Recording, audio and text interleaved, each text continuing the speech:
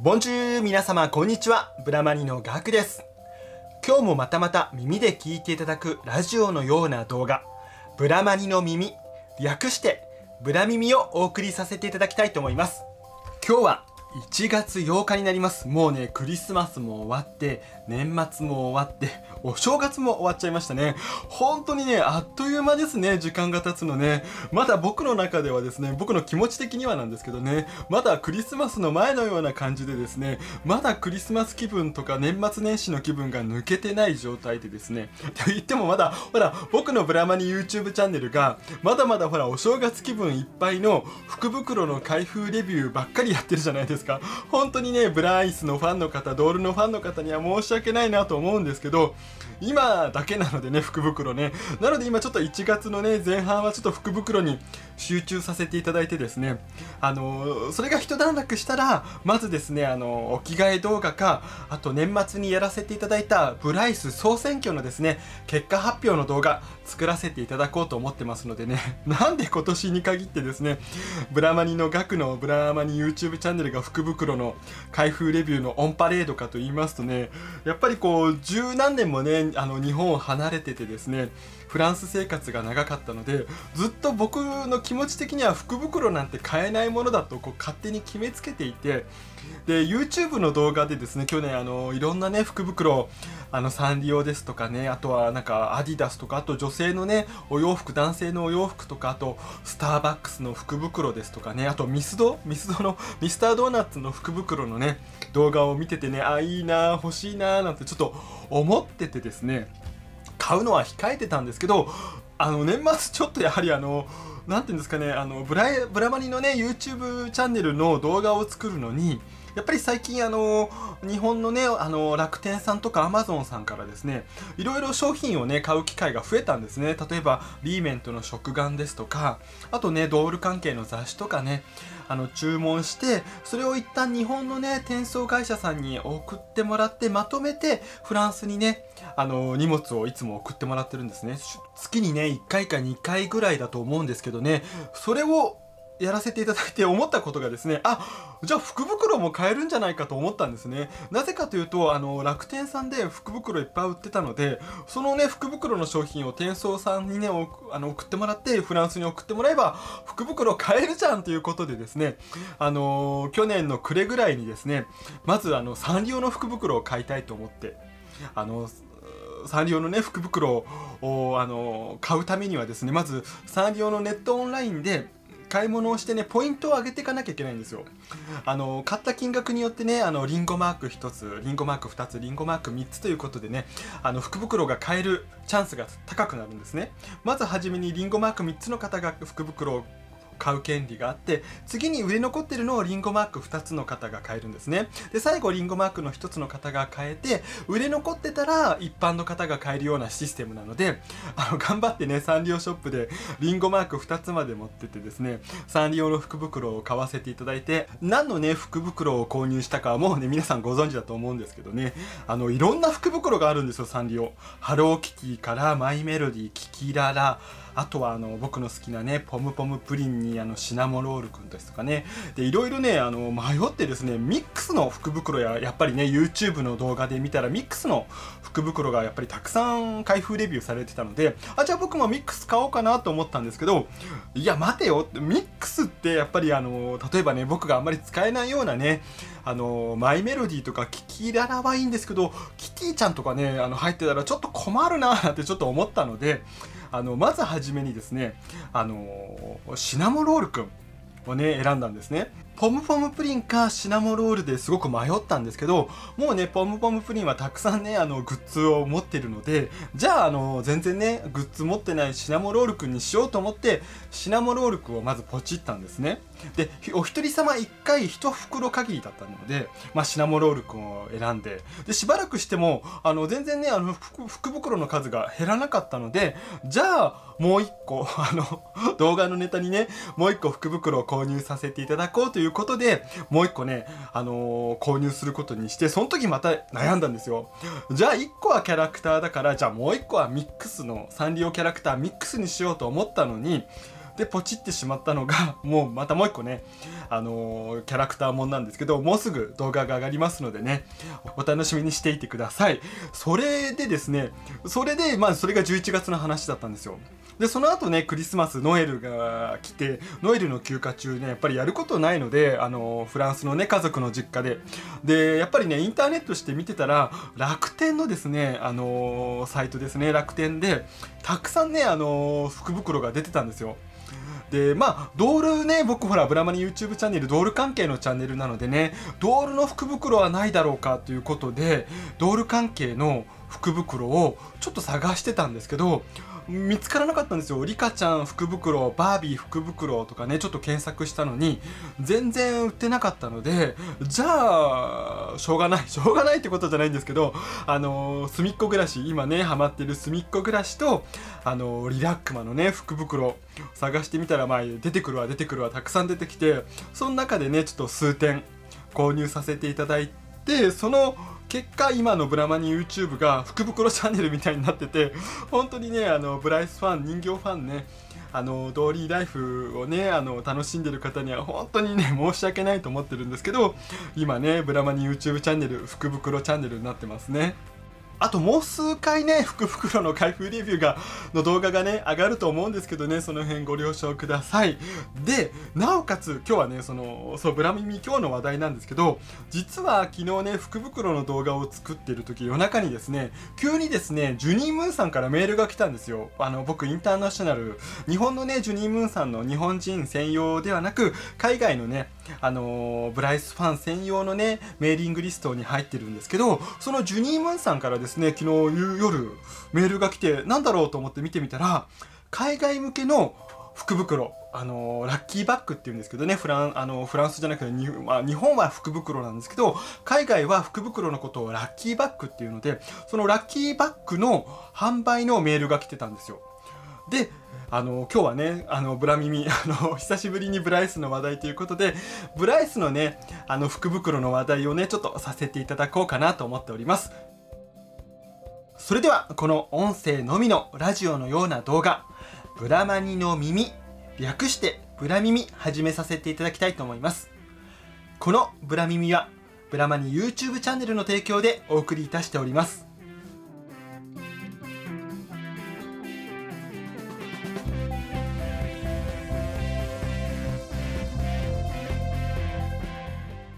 そうそれでですね昨日の夜中にジュニームーンのブライス海外ファン向けにメールが来て、そのメールの内容はね、いろんなセールですね、あのー、の話プラス、ブライスのですね、福袋の話題が載ってたんですね。で、そのブライス海外向けの福袋はですね、一応価格が10万円で、あのー、その中にはですね、あの、ネオブライスが3体、プラスあのブライスのグッズですね。ブライスのグッズが14点入ってて合計、え、10万円ということで数量限定4点のみなんですけどね。数量限定4点のみの販売となっていて一応ですねその中に入っているだろうと思われるネオブライスが一応あの書き連ねて書かれておりましてまずですねあの1体目がウィンターリッシュアルーアですね。ウィンターリッシュアルーアの金髪のねあの可愛い子ですね。あの冬にぴったりの。次にですね Playful Raindrop ですね。あの僕もねあのすごく思い出の深い僕がね学阿弥さんにねあの誕生日プレゼントでいただいた Raindrop さんですね。で3体目がですねヘンリエッタ Home Party さんですね。ヘンリエッタの可愛いねあのあの鍋つかみとかねエプロンしてる可愛いヘンリエッタさんですね。で4体目があのグレース・シャンティーさんですね。あの Radiance Renew の初期の子ですね。あのピンクいドレス着たね。金髪のあのあのすごい金髪というか黄色い髪のね子だったのでちょっとねあのー、僕もね開封レビューちょっと躊躇しちゃった子なんですけどね。で開けてみたらすごく可愛くてびっくりした子だったりしますね。で5体目がジュニームーンホームスイートホームさんですね。ジュニームーンさんね。あのすごく人気のある半透明でパッツン前髪ストレートの金髪のすごく綺麗な子でね。今でもねすごく人気があってね。かなりお値段も高騰してますしね。あこれはお買い得ではないかななんてちょっと思ったりもして。で最後ですね、あのー、最後6体目ですね、6体目は、あのー、ゲルダさん、ね、ゲルダエタニティさんが、あの、ラインナップされてる。今はね、ゲルダさんすごいね、人気ですもんね。去年の冬、一昨年の冬か、一昨年の冬発売されてね、すごい、あの、人気でね、今も値段がどんどんどんどん高騰してる子なので、かなり、あの、ラインナップとしてはね、あの、まあ、どうなんでしょうね。まあ、中堅どころのブライスさん、プラス、かなり人気のある子でね、ミックスされてて、その6体のうちの3体が入っているということなのでね、まあ、僕としてはですね、やっぱりあの、ね、どの子もほとんど持ってる子なので、ね、あの、10万円出してね、あの、このネオ3体プラス、14体のね、あの、ブライスのグッズは、まあ、ちょっとね、今回は見送らせていただいたんですけど、これがまたね、例えば僕の、あの、好きなね、テンハッピーさんとか、持ってないビンタールデンさんとかね、テンハッピーさんが入ってたら、多分ね、あの無理してでも買ってたかなとは思うんですけど、まあ、僕ねどね今今回のラインナップ2019年の福袋のね6体のラインナップどれも持ってる子だったのでね、あのー、今回はね、あのー、購入しなかったんですけど、まあ、今回はね、あのー、そんなにね購入するつもりはなかったのでできればね、あの、去年もあった、あの、ブライスのアウトフィットの入った福袋があったらね、購入させていただきたいなと思ってたんですけど、今回のラインナップにはね、そういったあの、アウトフィット、お洋服のね、福袋は入ってなかったのでね、残念なことにね、ああ、じゃあ今回はちょっとドール関係ね、今年はドール関係の福袋を買うことないのかななんてちょっと残念には思ったんですけどね。ちなみにですね、その昨日の夜見た時はですね、1時間か2時間ぐらいはね、この10万円のラッキーバッグ福袋ですね、あのー、販売されてなかった、販売されてたんですけど、あのー、売れてはいなかったんですね、僕見た時は。あの僕見て、あの、すぐ見たんですけど、すぐ見た時は、あの、数量ちゃんとありましたし、1時間後ぐらいに見た時もね、まだ残ってたのでね、あ、そんなに売れてないのかな と思ったら、今日見たらですね、もうすでに、まだね、1日も経ってないのですが、半日ぐらいでもうすでに完売してましたね、10万円の福袋。海外向けは限定4個だったのでね、もうすでに4人の方がね、買ったということですごいですね。やっぱりブライス人気あるんだなぁなんてちょっと思ったんですけどね。で、あのー、このですね、海外向けのあの福袋の内容とですね一応日本のね福袋の内容はねほとんど一緒みたいですねあのちょっと僕も確認してみたらですね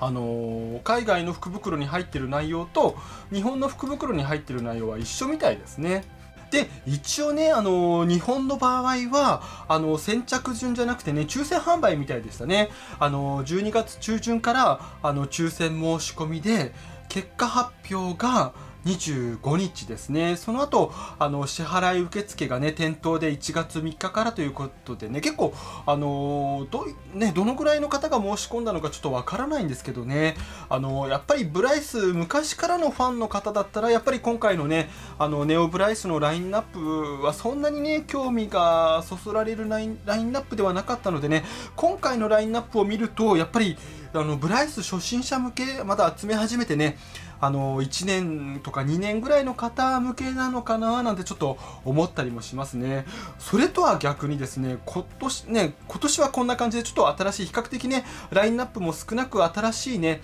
子たちが多かったんですけどね、まあ、それはあの、福袋の前にですね、過去っ子のね、あの人気っ子たちを抽選販売してたりもしたのでね、その影響もあるのかななんてちょっと思うんですよね。普段だったらね、あの、福袋に入れられるような、あの、貴重なね、もうあの、の完売してしまったような過去っ子たちがそのクリスマスの前にですねあの抽選でね販売され定価で販売されてたのでまあその影響でね福袋に入るラインナップの子たちは減ってしまったのかななんてちょっと個人的には思うんですけど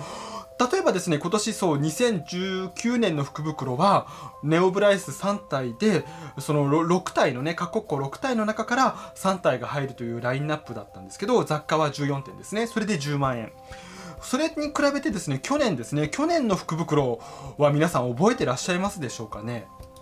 ？2018年のですね、福袋、ジュニー・ムーンさんですね、ブライス公式のジュニー・ムーンさんの福袋のラインナップはですね、本当にたくさんのラインナップがあって、まずですね、10万円と5万円のブライスの福袋があったんですね。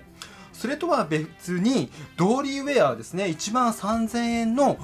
分のですねドーリーウェアが入った福袋があったんですよ。なので僕はね今年ねまたドーリーウェアの福袋あったら購入したいなと思ってたんですけど今年はなかったんですけどね。なので2018年の方が若干ね福袋の種類が豊富でしたね。今年はね10万円1個だけだったのでね。でもその10万円で3体プラスあの雑貨がねあの14点入ってるのが今年だったんですけど去年のですね10万円の福袋の内容はネオブライスが2体ミディブライスが1体。で最後にプチブライスが2体も入ったんですね。なので合計ですねまあネオブライス今年は3体で去年は2体でまあその点で若干減ってるんですけどそれに代わってミディ1体プラスプチが2体も入ってたということでね。でなおかつですねブライスの雑貨や dolly wear が約27点も入ったんですよ。それすごいですよ。去年の福袋10万円ね。ネオブライス2体、ミディ1体、プチブライス2体に、ブライスの雑貨や dolly wear が合計約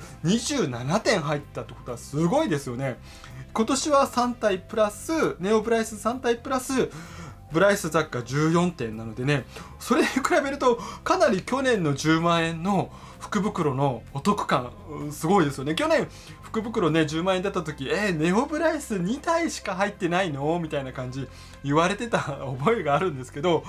それをね今年と比較するとかなりすごかったですね去年の福袋はね。でなおかつですねあのー、ドール福袋に入っているかもしれないドールのラインナップがまたすごかったんですよ。まずね、あのー、一部ね、まだネットに載ってるのでね、紹介させていただこうと思うんですけど、まず、アーリー・ガブリエル、あのー、アニバーサリーですね。その次ですね、 Inspired by ピア・フォーレ・ Purple。これは何でしょうかね昔のブライスでしょうかねそう昔のブライス僕もちょっとねその2011年以降のブライスさんの名前あまりね詳しくないのでねすぐちょっとパッと思い浮かばない子なんですけどね。で、次がですね、ベロニカレースですね。あのレースのね、アウトフィットのすごく綺麗なね、本当に過去子ですね、ベロニカレースね。その次にカーリーブルーベイブですね。あの香港初風呂でね、発売されたブルーのね、濃い藍色の髪のカーリーブルーベイブ。その次にですね、カシオペアスパイス。カシオペアさんですね。僕も持ってないんですけどね。あのー、ね、ラディエンス中期の子ですね。その後にシナモンガールねあの僕シナモンガール欲しくてね持ってないのでねちょっと今お迎え考えてるこうシナモンガールにジャルダンドママねこれジャルダンドママまで入ってたすごいですねなおで次にですね T42 アンコールですね T42 アンコールその次にハート・オブ・モンマルトル。でもっと次がすごいのがですねミクさんですね。初音ミクコラボのブライス。あのねすごい効果だった。次に、ハニーバニーワンスモアね、あの、うさぎの着ぐるみの子ですね。あと、僕がこの間ね、あのー、お着物着せた B2 ホリック、あのー、クランプさんのね、コラボですね。次に、プリマ通りメロン。あの、すごく、あの、入手が困難だった当初ね、発売当初、全然ね、あの、販売数が少なくてね、皆さん買い逃した、あの、プリマ通りのメロンさんに、あとですね、なんと、ブルーミーブルーズ、ブルーミー、ブルームズベリー、ブルーミーも入ったんですよ。あのー、ねあの限定のね。すごくあのー、コラボっ子でねあのブルーミーさんですね。僕も持ってるんですけど中古でお迎えしてね。その次にマイメロディーも入ってたんですよ。マイメロディーブライスあのねサンリオコラボの。で次に Red Delicious あのー、あれですね。アニバーサリーね僕があのー、確か2012年のアニバさんだったかな。 Red Delicious はね僕が大好きなね。その後にオスキーティビアリュブリューあの、オスキーさんですね。あの、ちょっと僕もよく発音できないんですけど、あの、ミディさんですね。ミディさん。その次に Cool Pool Lemonade。これもミディですね。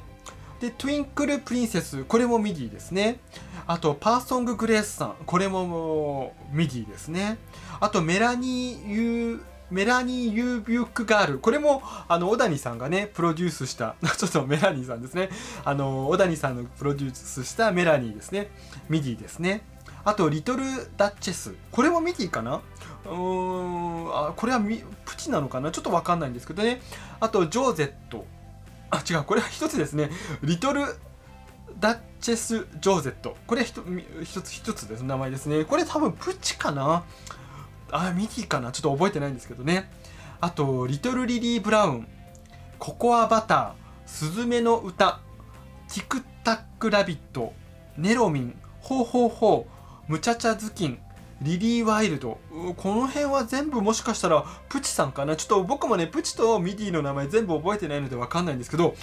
この今ね読み上げた中以外にもレアなドールが入ってるということですごい10万円のラインナップの凄さ分かっていただけたと思うんですけどすいませんね僕がねうまくねブライスの名前発音できなくてね。なので今年の福袋10万円の福袋と比べると2018年の福袋すごかったですね。今考えるとね。かなりお買い得だったんじゃないかなと思うんですね。でちなみにですね去年あったブライスの5万円の福袋ですね。あの今年は5万円の福袋出てないんですけど去年の5万円の福袋の内容はネオブライスが1体ミディブライスが1体プラスブライスの雑貨が18点入ってるということでねこちらもかなりね5万円にしてはかなりいいんではないかなと思うんですよね。で5万円のラインナップがあのー、まずドールからいくとシェリー・バベットジュニー・ムーニー・キューティー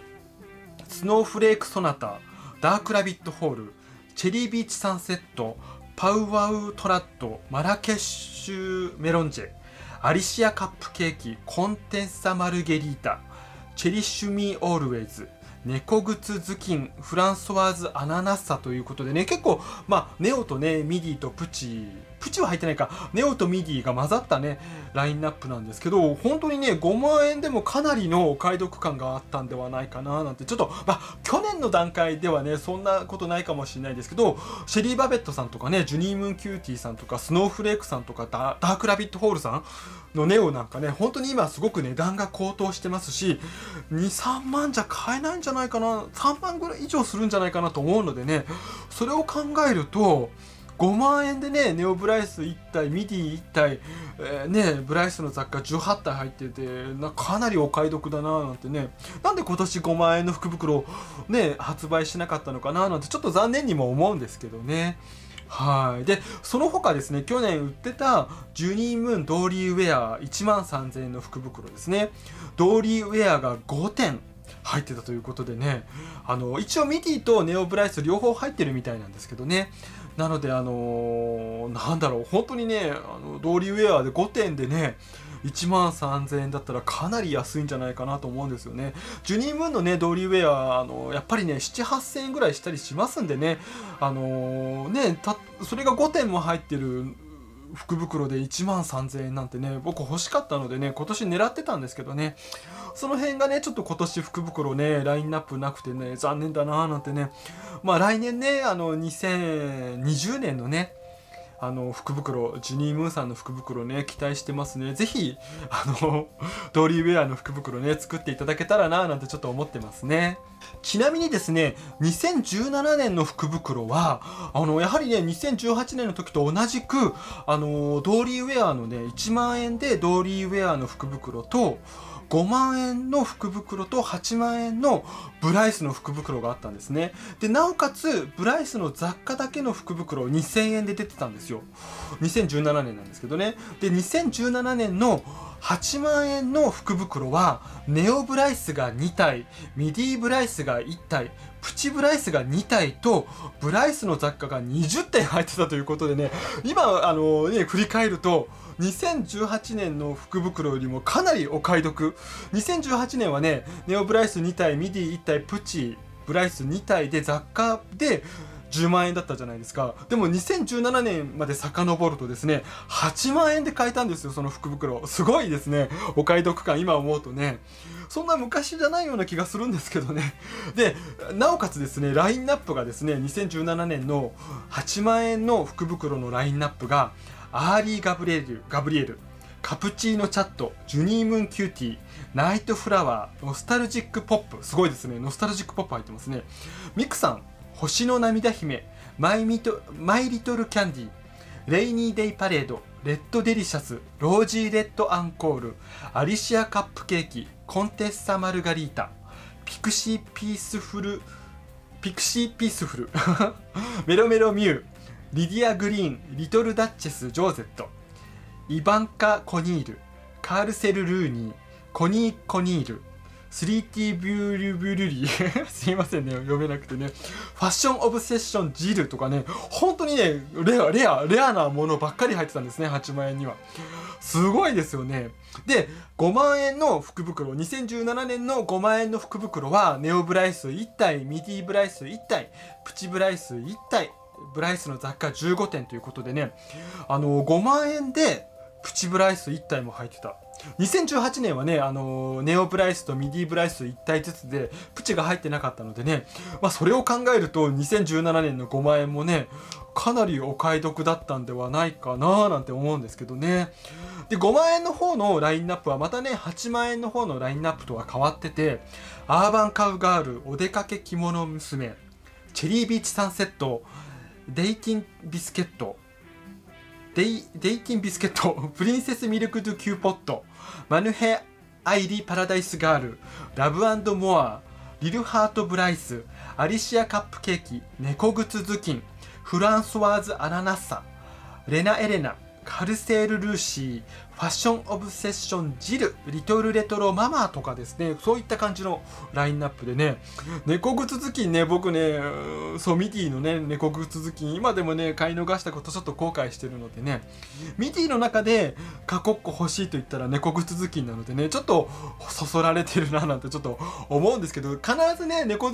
猫靴頭巾さんが入ってるんだったらね5万出しても買うんですけどね。そうね。プラスネオが入ってて、ね、ブライスの雑貨15点も入っててね5万円だったらお安いと思うのでね。本当にねあのまあ値段ね年代を遡るごとにねあのお買い得な感じはね思うのそう感じるのはね普通だとは思うんですけどね。まあこう比べるとね2017年18年19年の福袋ジュニー・ムーンさんのね福袋のあの流れがよく分かりますね。はい。まあ、もっと過去に遡ればねもっとすごい福袋出てくるんでしょうけどね。ほらあのー、ね小谷さんがプロデュースしたマーゴユニークガールがね入ってた時もありましたんでね。10万円の福袋にねあのー、当時でもねマーゴ30万ぐらいヤフオクでしてたのでね。それが入ってる時はかなりねすごく話題になりましたけどね過去のね福袋ね。なのでね、まあ、またね、マーゴ級のね、ブライスが出ればね、そういった話題にもなるんでしょうけどね、マーゴみたいなブライスね、これから出るんでしょうかね、またね、出たらいいんですけどね。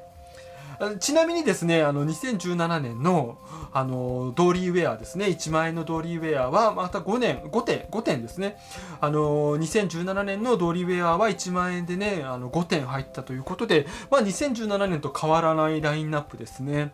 本当にね、ジュニムーンね、ドーリーウェア出してくれなかったのなんで今年出してくれなかったのかななんてちょっと残念に思いますね。で、あの、やはりね、あの、2018年と今年にもなかったブライススのね雑貨だけのセット。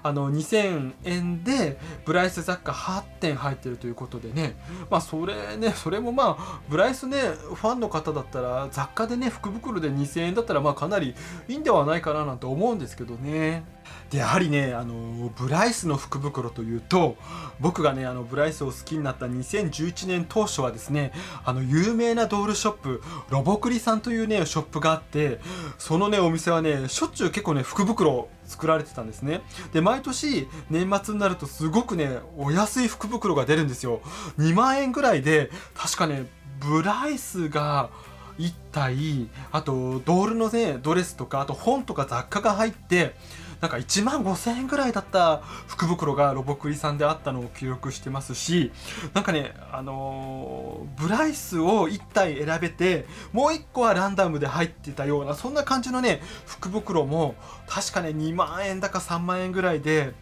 出てた記憶があるんですね。プラス雑貨がいろいろ入ってでその当時でもブライスファンの間ではロボクリの福袋はかなりお買い得だというだ確か3体ぐらいネオブライスが入ってたのかな。ちょっとねあの記憶が定かではないんですけどねロボクリさんね本当にいつもねブライスを割引で発売していたりあのー、すごいかなりの数のドールの在庫があったんですよブライス。で福袋もね100個福袋発売していたりかなりねすごくね大きなドールショップなのでショップさんだったんですね。でお値段もね新発売の子でも例えばモモコでもルルコでも安かったですしバービーとかねリカちゃんも売ってたりねあのドールファンにはねあの本当に有名なねドールショップロボクリさんだったんですけどねもうちょっと閉店してしまってねもうすでにもう何年前かなもう5年ぐらい前でしょうかね閉店してしまって今はないんですけどねあのねドールファンにはあの本当にねあのすごく馴染みのあったねロボクリさん。今ね思うと懐かしいなと思うのでね。またねそういったねあのドールショップ有名なね大きなドールショップがねできてくれたらね僕たちドールファンもね結構お安くねドールを買えたりねあのー、するんではないかなと思うんですけどやっぱりね今ねネットショップで皆さんねお買い物するのでね路面店とかねお店を構えるのはかなり難しいご時世になってるのかななんとは個人的には思うんですけどね。あのまあねアマゾンとかねあとトイザラスなんかであとヨドバシカメラさんですか？若干お安くね買えたりはするんですけどね。最近ネオブライスもね定価で売ってても完売しちゃうぐらいなのでね。あの割引になるまでね在庫がなかったりするパターンもあるので本当にねあのブライスファンとしては嬉しいとは思うんですよね。すごく人気がある証拠ですしね。生産数絞ってるとは思えないんですよね。2011年の頃に比べてね僕としてはやっぱりブライスの裾野が広がってるのかファンのねあの数が増えてるのかまあよくわからないんですけどねちょっとブライス熱がねまたアップしてるんではないかなと個人的にはね思うのでねその辺はねブライスファンとしてすごく嬉しいなとは思うんですけどね昔みたいにねブライスの福袋でいっぱいねブライスが入っていたりあとはちょっとね定価よりお安くねブライスが買えた時代を知ってるね身としてはねかなりあのあの懐かしいというかまたその時代に戻ってくれたらいいななんてちょっと思ったりもするんですよね。例えば公式さんでもですねあのブライスが 10%20% でね割引で売ってた時代もあるのでねあの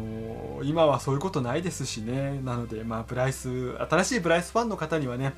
馴染みがないかもしれないですけど昔からのねブライスファンにはそういった時代もあったということで本当にねちょっと懐かしいようなノスタルジーをねちょっと感じるような そうお正月新年早々のねブラ耳となってしまいました、えー、今回はねこんな感じでねあのブラ耳締めさせていただきたいと思うんですけどねちょっと久しぶりにねちょっとブラ耳こんなに長く喋ってしまったんですけどね。あの福袋皆さんもねもし見つけられたらねあぜひ買われてみるのもいいんではないかなと思うんですよね。お正月まだそんなにねあの福袋もしかしたらねお店で残ってる場合もあると思うのでね結構福袋あの外れもあるんですけどあの当たりの福袋もありますしねよく吟味してですね例えばあの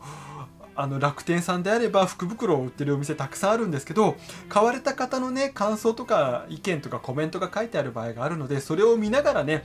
この店は当たりだ。あこの店は外れだ。みたいな感じでね福袋を厳選して買っていけばそんなにね外れに当たる可能性はないと思いますのでね。ぜひ、あと例えば YouTube 見たらですね、あの、プーリップさんのね、福袋なんかね、秋葉原で売ってたりしたのでね、もしかしたらね、秋葉原のお店がブライスの福袋とか作ってたのかななんてちょっと思ったりもするんですけど、福袋に入れるほどね、ブライス安くなったりしないのでね、逆にね、過去の子であればあるほど高くなるのがブライスなのでね、その辺、ブライスファンとしてはすごくあの、なんていうんですかね鼻が高いというかねブライス僕たちの大好きなブライスをね本当にあのそういったねあの安くなったりしないのでねその辺は嬉しいなとは思うんですけどね。なのでまあまたねいつかあのブライスの生産数が上がってね福袋に入れられるような感じになったらそれはそれでまたちょっと悲しかったりねブライス人気が衰退衰退してしまうね。あの理由にもなったりするので逆にねお安くなったり福袋に入らなくなったのはいいことなのかななんとは思ったりもするんですけどね。はい。今日はねまた長々とねブラマニの耳略してブラ耳長々とね喋ってしまいましたがこの辺でね終わりにさせていただきたいと思います。えっ、ー、とまたねちょっとね 前半でも言ったんですけどね福袋の動画が若干続くのとまあこの週末はねちょっとドールの機外の動画とあとブライス総選挙で皆さん本当にねブライス総選挙にねたくさんのご応募いただき本当にありがとうございました。週末に集計してねあの早めに動画作らせていただこうと思いますのでねその動画が完成したらまたねライブの方やらせていただこうかなと思っておりますのでねどうかよろしくお願いいたします。それではねまだまだねあのお正月が過ぎてまだまだ寒い季節が続きますが、えー、体調ね崩されないようにねお風邪などひかれないようにドーリーライフ皆さん楽しんでくださいね。それでは次回の動画やライブ配信ブラ耳でお会いいたしましょう。今日はね長々とご視聴いただき本当にありがとうございました。それではブラマニのガークでした。オーバーボアーボンソワレーアビアントありがとうございます。